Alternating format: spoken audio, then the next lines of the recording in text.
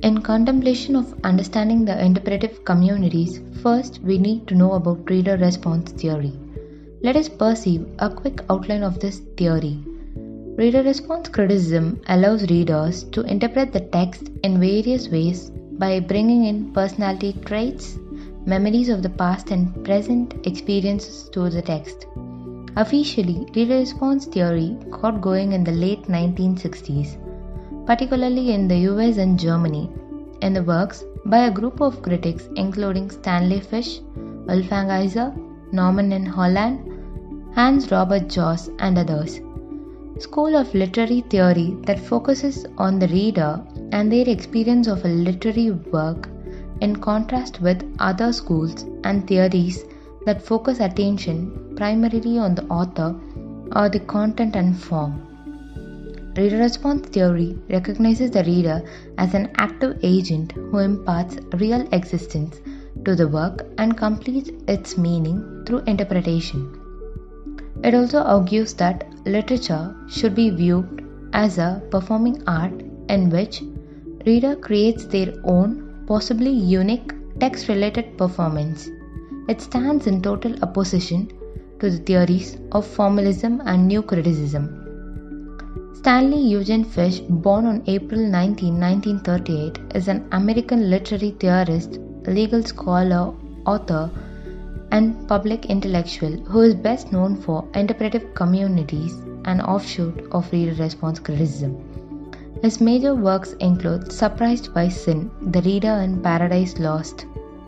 Fish's affective stylistics, which stresses the reader's response to a literary text departed from the formalism of the new critics.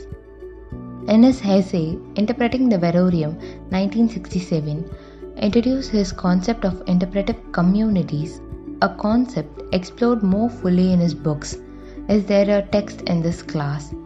where he addresses the important question of the role of institutions and, in particular, the literary institution in the construction of meaning. According to Fish, the competent reader does not stay away from the intentions of the author, even while structuring the text through his own interpretation.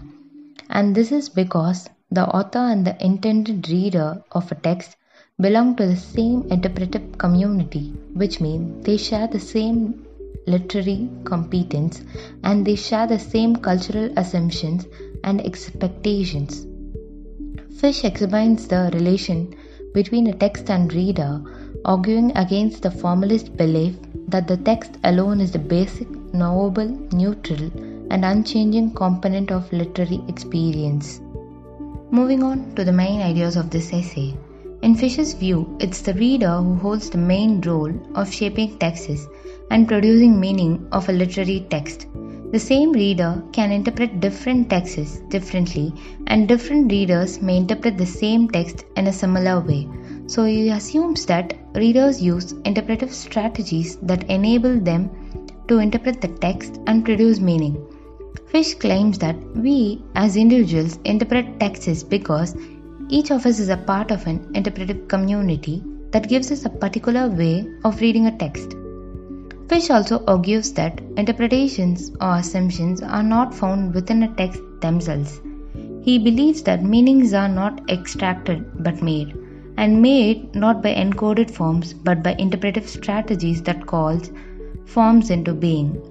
According to him, it is the readers who determine the shape of a text, its form, and its content by using their individual interpretive communities, and the text contains nothing in itself so, this is how Fish can claim that readers write text.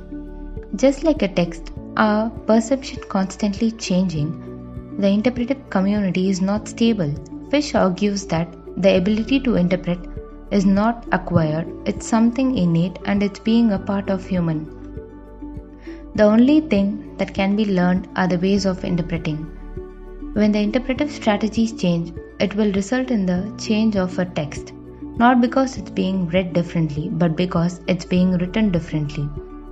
As we know, readers have some strategy in their mind and they use them to interact with the text. But even the authoring of the text happen by using interpretive strategies. The author must know how the reader will understand the words or how it would be conveyed to the reader. Interpretive communities are groups of readers who have the same strategies for interpreting text, so they are a part of a single interpretive community.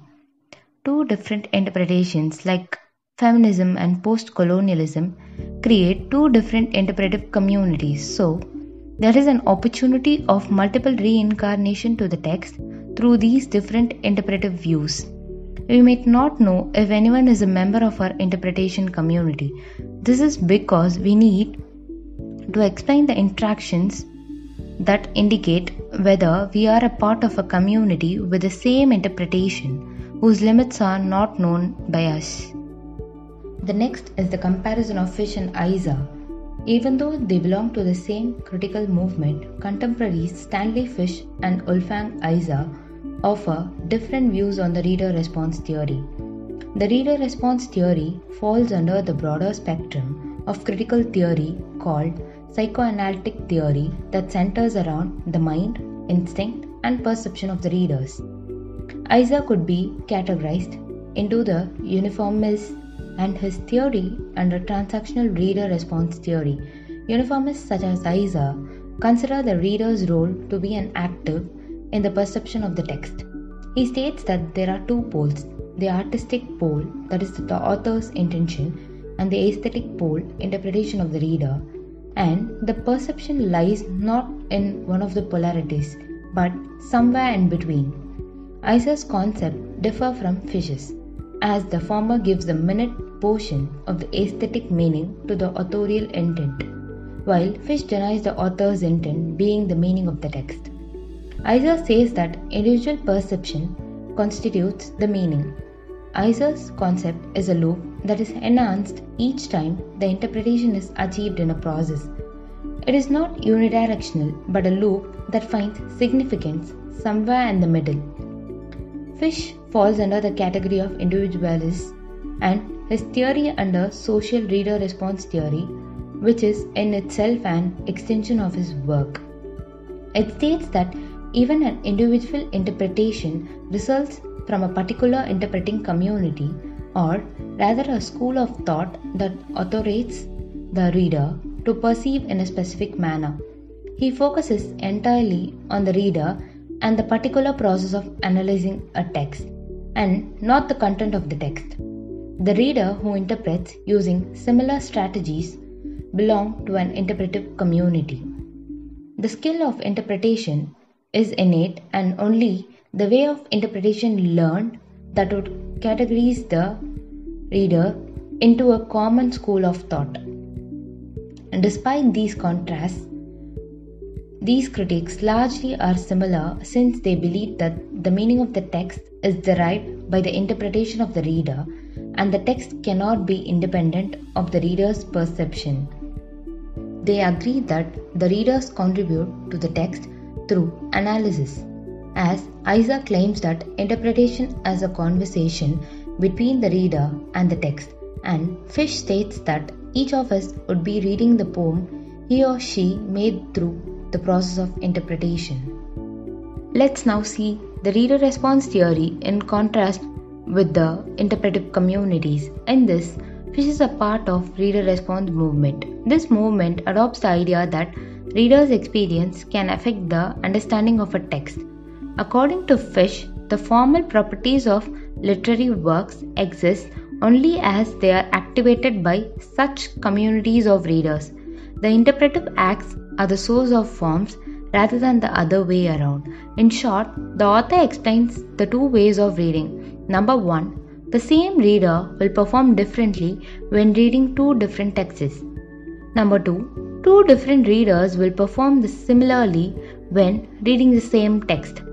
From this, both the stability of interpretation among readers and the variety of interpretation in the career of a single reader would seem to argue for the existence of something independent. In literary interpretation, it is the reader, not the text, which is more important component. There are no texts unless there is a reader, and the reader is the only one who can say what next is. The reader creates a text as much as the author does.